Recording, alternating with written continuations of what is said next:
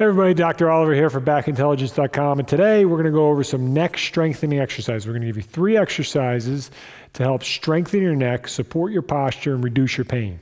If you haven't done so yet, click the subscribe button so you get access to videos as we release them.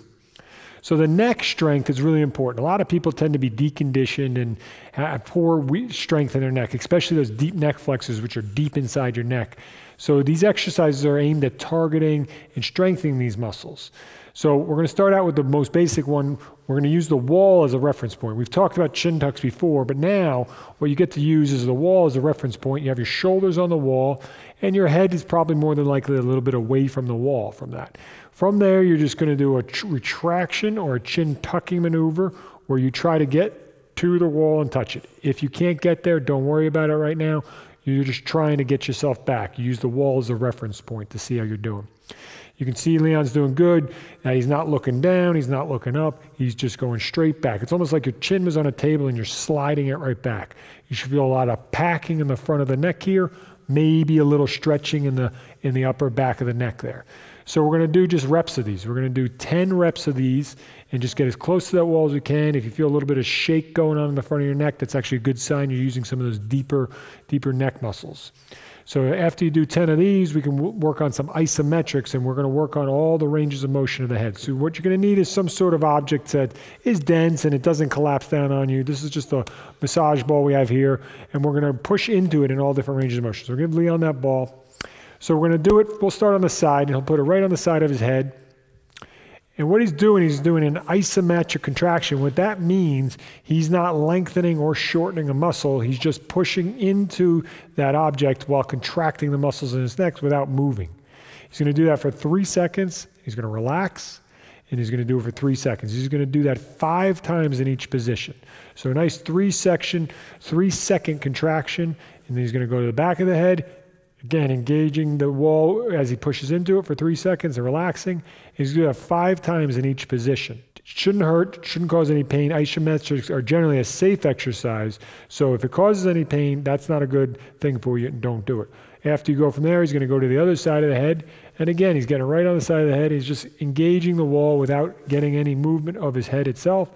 Three second holds, five times, and then he's going to switch to the front. He's going to complete the circuit, and he's going to go to the front. He's going to put it right on his forehead and engage that as well. So as Leon turns over here, good. And again, he's not looking down, he's not looking back. He's just isometrically contracting and stabilizing and strengthening those muscles in his neck for good support, good posture. He's in a good stacked position, his head's over his shoulders. We're going to do those three second contractions five times. After we do these exercises, we're going to go to another exercise on the ground, which is another really good option for getting at those deep, deep neck muscles for the core stability of our neck. All right, so we're going to go over that third exercise is to strengthen the neck. We're going to do it laying down, preferably on the ground. You can do this in your bed as well, which is fine, but you preferably you'll be on a nice flat, even surface that's supportive. So you just lay down, you have your knees bent, take some tension out of your back, head supported. If you find when you're laying down like this that you're really extended because you are dealing with a lot of forward head carriage, it's okay to use a thin pillow under your head. You don't want to feel like you're leaning back into the ground like this. You want to feel relaxed as you do this to some degree. From this position, what you're going to do is that tucking motion, which is going to be a little more of a scooping down of the chin on this one. So we're going to bring this down. You can see how he's nice and packed in there in the neck. You can see how you get the creases and folds in your neck there. That's what we want to see. And then what you're going to do is you're going to initiate like you're going to lift your head, but you're not actually going to do that. You're just going to take a few pounds of pressure off your head while still being able to feel the ground. So all you're doing is tucking the chin and starting like you're about to lift your head off the ground. Take a few pounds of pressure off, and you should feel a nice, strong, deep shake in your neck. Those are those deep muscles really active. This is probably the best exercise to do this. You just have to get on the ground to do it. So we're going to contract that and hold for about three seconds, and then you're going to relax back, and you're going to repeat that 10 times. As you get comfortable with this, as you get stronger, you're going to increase that hold to five seconds and then eventually 10 seconds. You want to be comfortable with this. One key thing to look out for is you really don't want to lift too high. We'll have Leon do one where he lifts too high. And what's going to actually happen is you're going to turn on other muscles in your neck that we don't want to turn on that are generally too tight on us anyway. So again, You should maintain or feel a little bit of contact of your hair to the ground there so you, you're not lifting completely, just taking a few pounds of pressure off.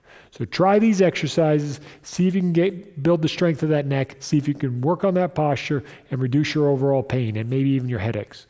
I hope you enjoyed this video, and if you did, please like it and share it with a friend. Also, we'd love to send you three posture correction exercises that we've done with Dr. David Oliver. These videos will help correct that forward head and rounded shoulder type of posture that we're all suffering from today. So if you'd like to get those three videos, there's gonna be a link to get them somewhere here on the video or down below in the description. Go to that page, enter your email, and we'll send you those videos right away.